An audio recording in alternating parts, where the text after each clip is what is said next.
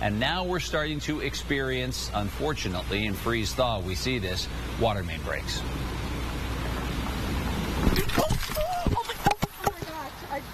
Got hit by a car, but I'm okay. I just got hit by a car, but I'm Well, okay, Tim. that's first Um, for you I'm on okay. TV, Tori. Woo! We're all good. I'm okay. Yeah, you know that's live TV for you. It's all good. I actually got hit by a car in college too, just like that. Wow. I am so glad I'm okay. Yeah. You're okay. You're okay. We're all good.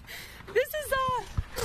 Oh, you know what? It's uh one sure woman you're band. okay, Tori? We're good, Tim.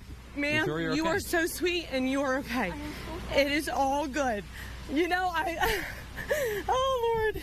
So you, You know it's my last week on the job, and I think this would happen. so you were bumped specifically in. to me, Tim. Were you bumped down low, Tori, or were you hit up high? I couldn't really tell from the looking. at you. Oh, I, I, I don't even. Do you know if I was bumped down low or up high, sir? I just saw you disappear I don't even know.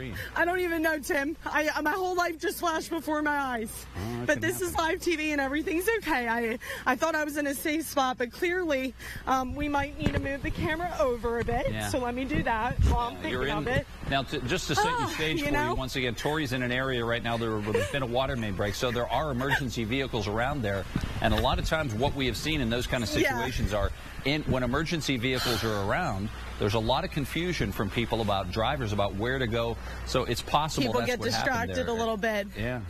Tori, you didn't even see Oh the car God, that woman. That